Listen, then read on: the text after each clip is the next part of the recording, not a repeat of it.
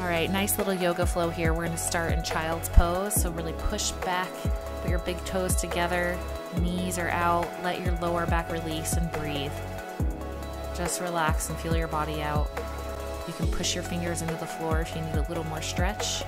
And then we're gonna come into cat cow.